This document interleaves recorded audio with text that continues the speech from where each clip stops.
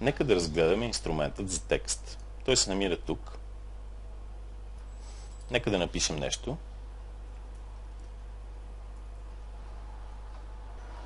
Сега с Free Transform Tool ще го оголемя с Ctrl-T.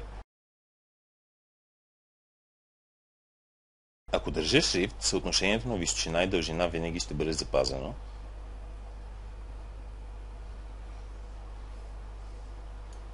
Препоръчвам ви да си оголемявате текста по този начин. Когато го оголемявате така, се разваля шрифта. Нашият текст е векторен, но не можем да го управляваме точка по точка с тези команди. Първо ще трябва да го превърнем в shape. Сега вече може да го променяме, като например тази промяна. Не я правя, като натисна няколко пъти стрелка надолу. Също така, вече в Free Transform Tool първо трябва да селектирам целият текст. Мога да използвам warp командата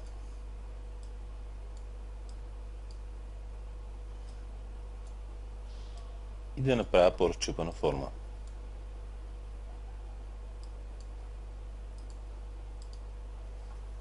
Както виждате, има много дразнещи контури по краищата в момента. Ще ги скрия с Ctrl-H. Почти същото нещо може да направите с този текст.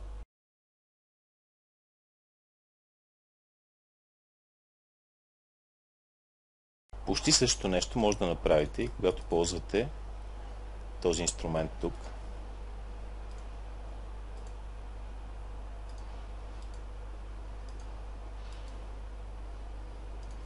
То ви дава различни опции. Но имате по-голяма свобода своите на Sforum Tool.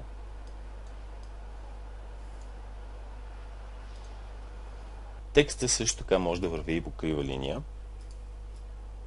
Нека да си начертаем една. Сега с текст инструмента натиснете някъде по средата.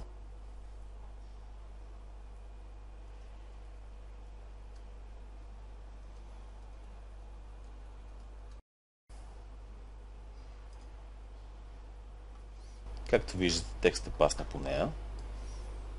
Мога да променям точките по кривата и текстът ще продължи да следи.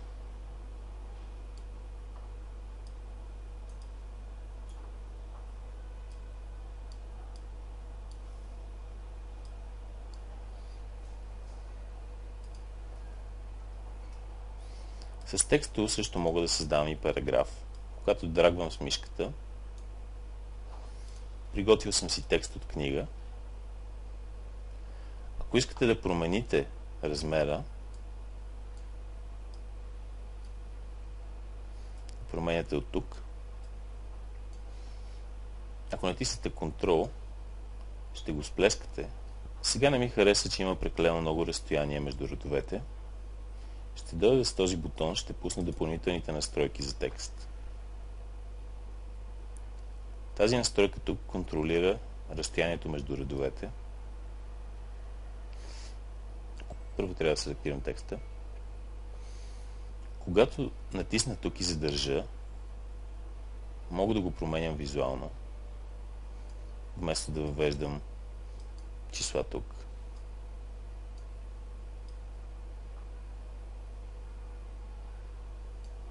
С тези бутони тук може да добавя стилове на текста.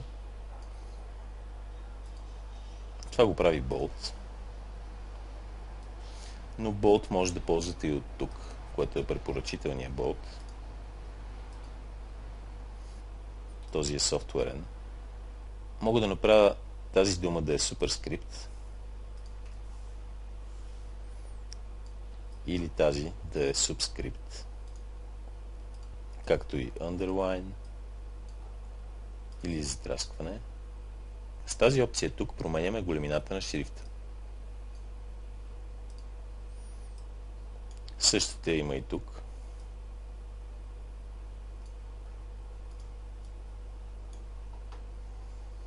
С тази променяме височината на шрифта.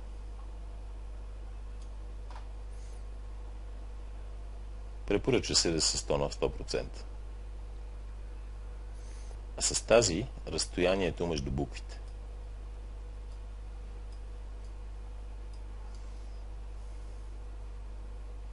Ако искаме този текст тук да е по-високо от кривата, която сме направили, го селектираме и с тази опция тук може да го повдигнем.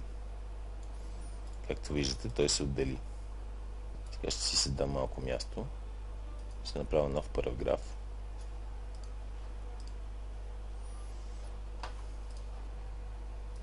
Ще избора ауто за него.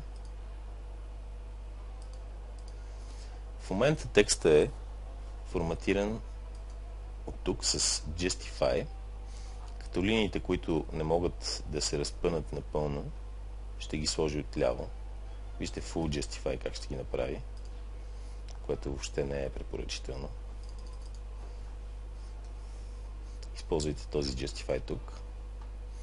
Или въобще не ползвате Justify.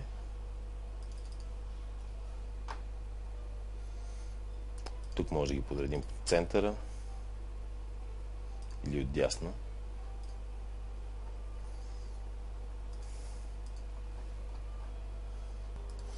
Тези параграфи също може да ги превърнем в криви.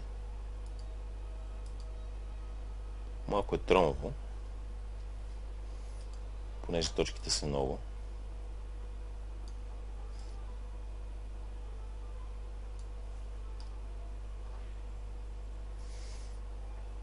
След това мога да си растеризираме слоя, за да не стане файла прекалено голям.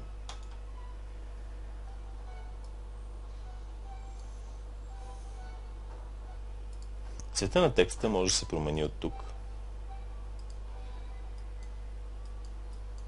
Или ако сме си избрали цвят.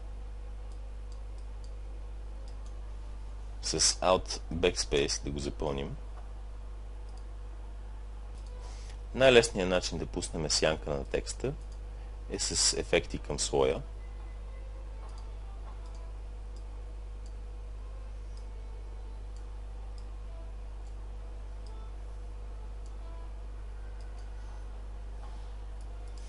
Когато правиме лого, е много важно да имаме контрол върху всяка буква.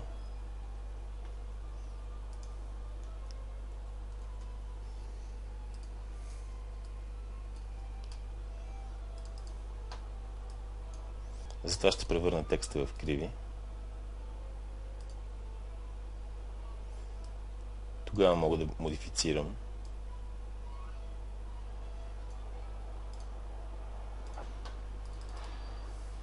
Както виждате, когато увелича размера, понеже всичко е вектори, няма да се развали качеството.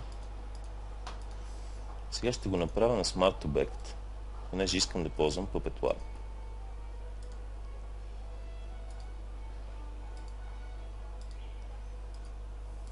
Сложа контролни точки първоначално.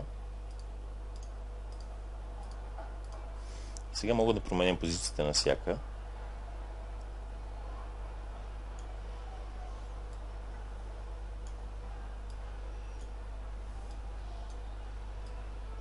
И да получа желан ефект.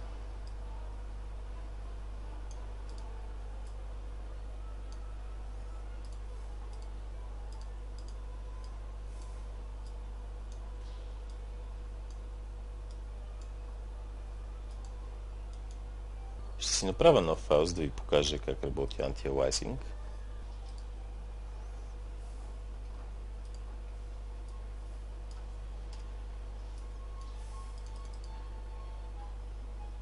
Се селектирам целият текст.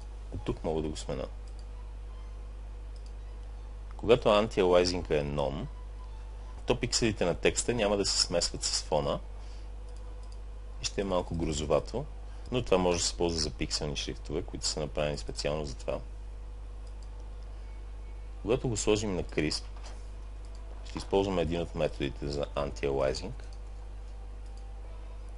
на Strong друг,